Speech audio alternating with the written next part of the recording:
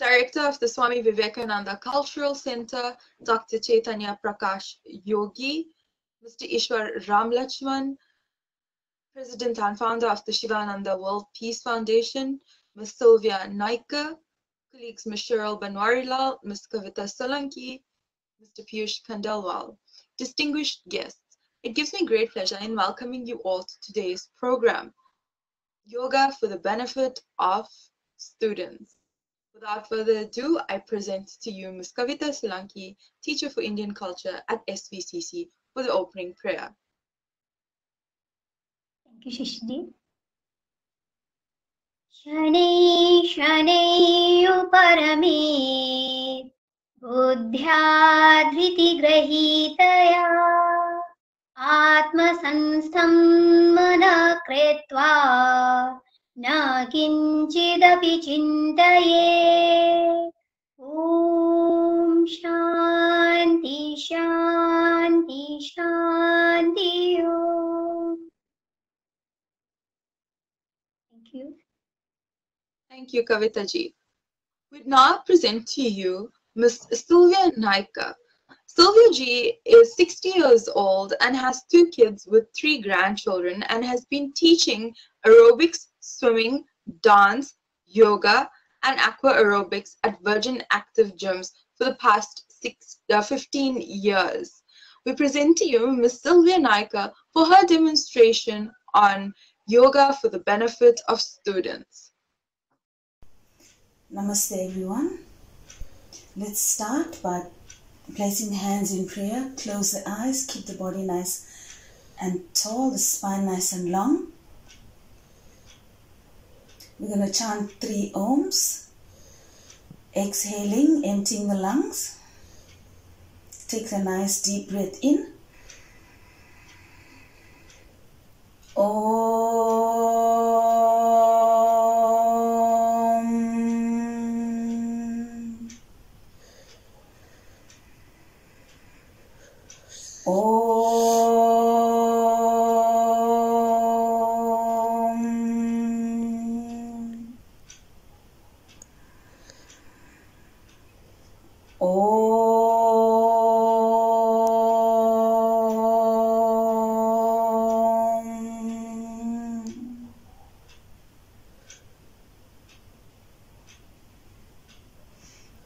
Gently open your eyes, rub your palms together.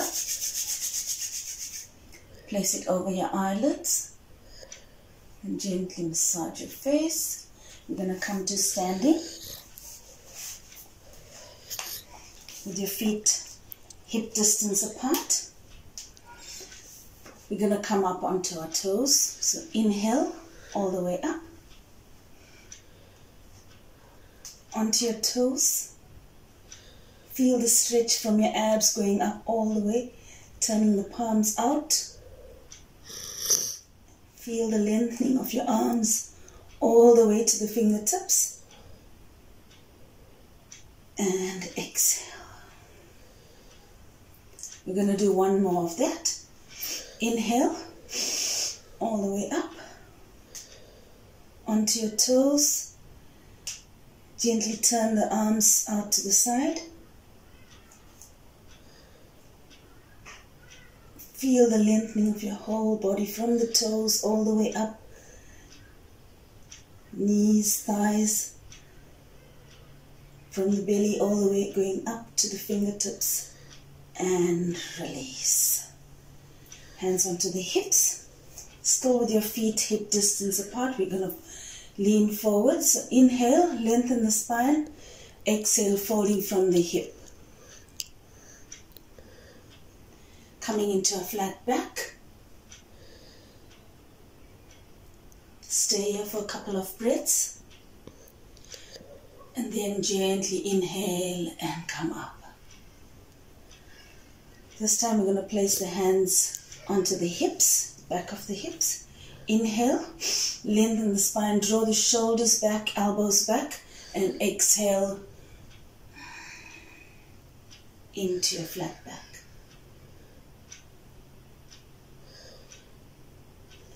Gently come up with an inhalation. And now we're going to take it forward and take it right down to the toes. So inhale up, palms facing each other, and exhale all the way down.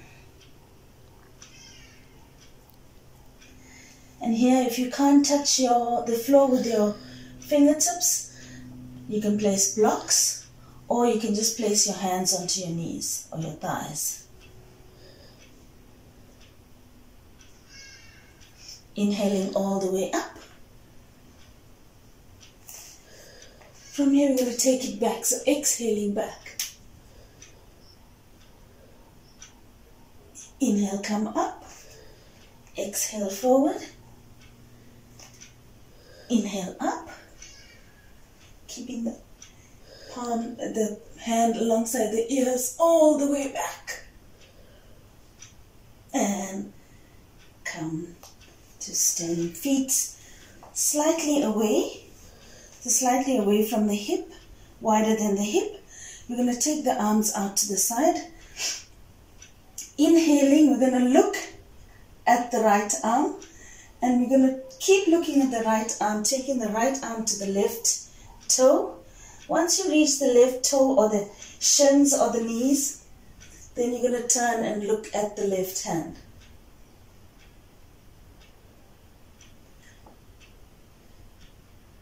Keeping the hips straight. And gently come up. Look at the right hand and gently come up. Looking forward, change sides, look at the left hand and slowly take a nice deep breath in and as you exhale take it to the right leg turn and look at the left hand then gently come up you're going to come to seated so sitting down we're going into Janu Sirsasana you're going to take the left leg. Place the left knee down, put the left foot against the right thigh. Place the hands onto the side and push the he right leg heel away. Pointing the right toe towards you. Kneecaps pulling up, thigh muscles pulling up. We're going to inhale all the way up and exhale, reach down towards your toes or to your shins. If you can't go down, you can hold on to your shins or you can take it further down. And from here, just stay here for a moment, opening up the chest, opening up the heart, pushing your toes forward towards you, pressing your knees towards the mat, and then gently see if you can take it further down. With an inhalation, come up, straighten out the spine, and then slowly come out of it change sides. Bend your right knee, drop your right knee down, press your right foot against the left thigh, making sure that the left leg is nice and long, lengthened, pointing the toe towards you. Inhale up and exhale, release. Fold from the hip all the way down. Here as well, you can hold on to the shins or you can take it further Opening up the chest, moving the shoulders back, keeping the neck nice and long, and then slowly release further down. Inhaling, come up and come out of We're going into Paschimottanasana. So here we're going to take away the flesh, draw up the knee, uh, the, the knee and thigh muscles, push the heel away, Spread the ball of your foot, toes pointing towards you, keeping the spine nice and long. Inhale, arms up. And exhale, fold. Here as well, you can hold onto the shins, open up the chest, or you can take your hands towards your feet or hold onto your big toes. So go with any option that you feel comfortable with. Moving the shoulders back, opening up the heart, keeping the neck nice and long, and then gently, with an exhalation, take it further. Keep using the breath. Inhale and exhale. Inhale, lengthen the spine. Exhale, forward. And gently come up, looking forward and come out of it. We're going to work with a counter posture for this. So arms, palms onto, onto the either side of you, toes pointing forward. We're going to look at the toes, inhale and lift the hip up. And as you lift the hip up, you can look forward or you can lift your chin up and look back. Gently dropping the hip. Bending the knees, we're coming up into a back bend. So from here, knees and hip is into one straight line. You can either point your toes back or tuck your toes under. So whichever way you feel like. Place your hands the back. So you can have your fingers pointing up or you can just place your hands wherever it's comfortable. Drawing your shoulders back, elbows back. So from here, we're going to just gently move the hip forward, making sure that it's not going over the knee. Draw the belly in Move the shoulders back, open up the heart. And if you want, depending on your neck, if you have a sore neck, you rather just look forward. If not, you can just lift the chin up. And if you want to take it further, you can grab hold of the ankles and draw the hip forward.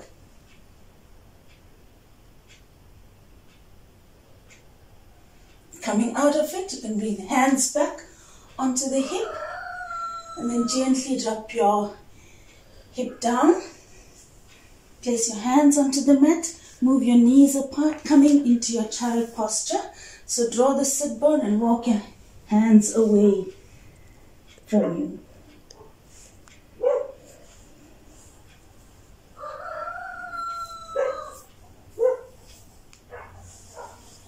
Just staying here for a moment, breathing in and out through the nostril.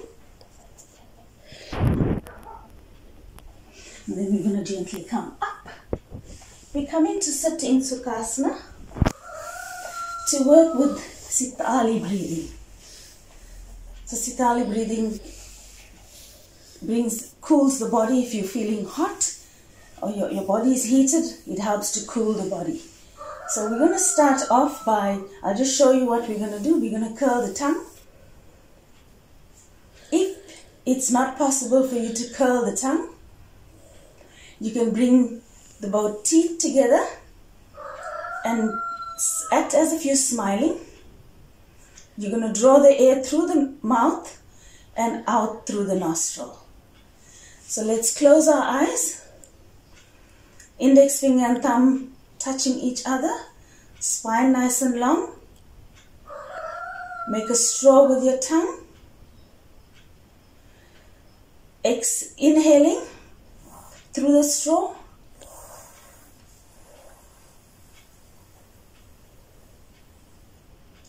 Draw your tongue in and exhale through the nostril.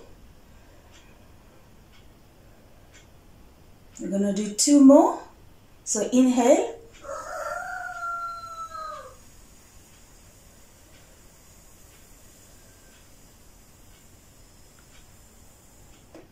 Draw the tongue in and exhale.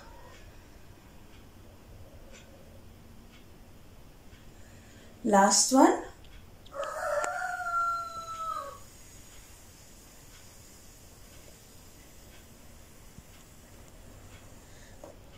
And exhale. Just stay here for a moment with the mouth closed, inhaling and exhaling through the nostril.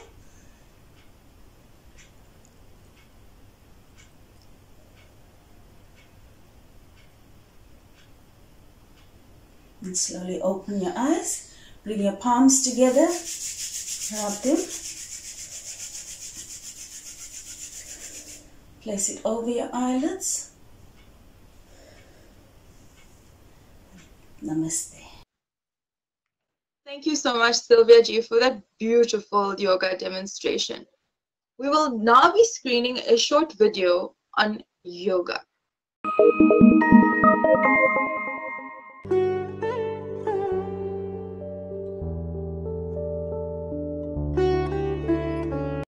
Sukhasana. Perform Sukhasana, the pleasant posture, sit on the ground with both your legs stretched out in front. Bend your left knee and then your right to pull the legs in and sit with your legs crossed at the ankles. Clasp your hands together to form the Yoga Mudra with fingers of your right hand dominant over the left. Sit straight and perform deep and controlled breathing. Sukhasana, the comfortable posture, is an excellent pose for relaxation, concentration, and meditation. It can be performed by most people in spite of their stressed out physical condition that prevents them from attaining to more complicated sitting postures. Perform the Sukha Pranayama by breathing in and out for an equal count of 6 while sitting in this comfortable posture.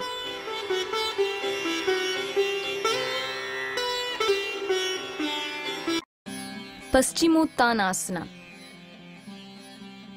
Sit in Uttanasana, breathe in and raise your arms over your head. Clasp the fingers together and turn them up to perform Dandasana. Slowly bend forward with emphasis on your lower back until you can catch your big toes with your index finger and thumb. Stretch up and then bend further forward until your face rests on your knees. Hold the posture for 10 to 30 seconds with gentle breathing. When ready, release the fingers and stretch back up into the Dandasana. Come back to the Uttanasana. Lie down in Shavasana and relax for some time with deep breathing.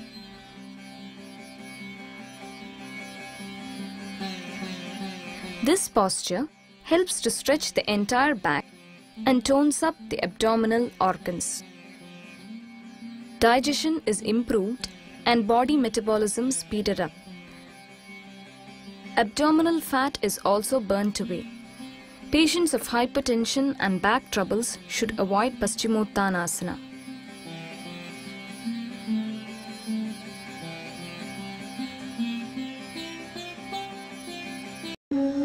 Halasana.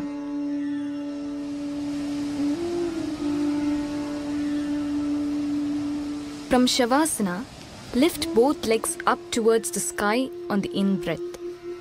Take the legs over the head until the toes touch the ground beyond the head.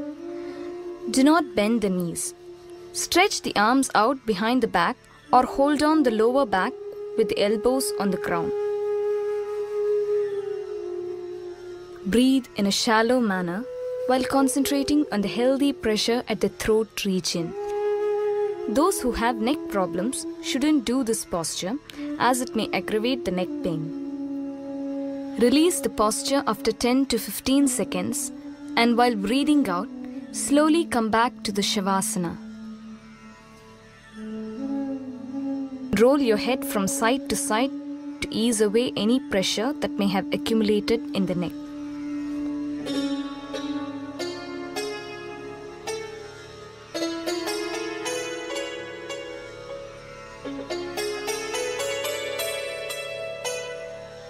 Padahastasana. Stand in Samasthiti Asana and slowly raise your arms up as you breathe in.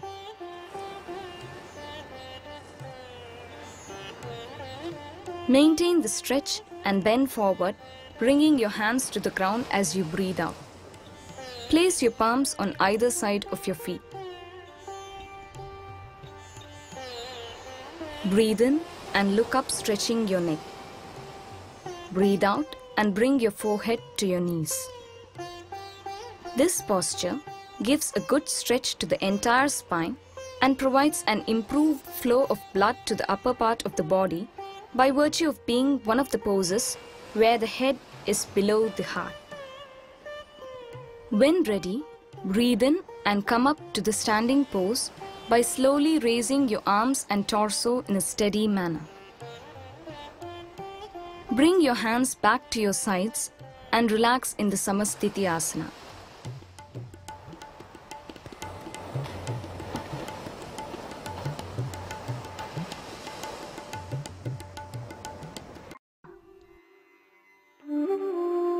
To perform this asana, sit on the ground with both your legs stretched out in front.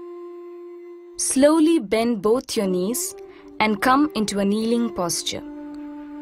Gently sit down on your heels so as to put the weight of your entire body on your heels and ankles. Try to keep the ankles and heels of both feet as close together as possible. Sit straight with your spine erect and both your palms on the respective thighs. Perform a few rounds of deep and controlled breathing while in this posture.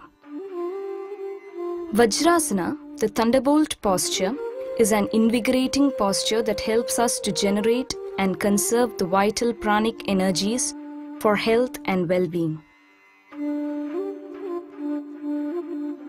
This posture may be done after any meal as it helps to improve the digestive process greatly. When ready, slowly come back up onto the knees and then relax by sitting on the ground with your feet stretched out in front. Shake your feet a few times and then thump your thighs to relieve the legs of any accumulated tension. Thank you. We've come to the concluding part of today's program. I present to you Mashirul Banwarilal to render this afternoon's vote of thanks. the Swami Vivekananda Cultural Center at the Consulate General of India in Durban. I would like to express our deep gratitude to Ms. Sylvia Naika. I would like to say a special thank you to the director, Dr. Chaitanya Prakash Yogi, Mr. Ishwar Ram Ramlachman, for spending time with us today. I would like to say thank you to Ms. Kavita Solanki and Ms. Shisti Harinarayan. I would like to thank Mr. Piyush Khandelwal for all the online support and like to thank you, our online guests, for joining us today. Stay home and stay safe. Thank you.